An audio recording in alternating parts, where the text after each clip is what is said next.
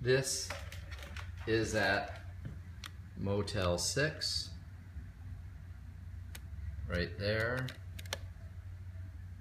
There's the phone number, the room number, and there is my.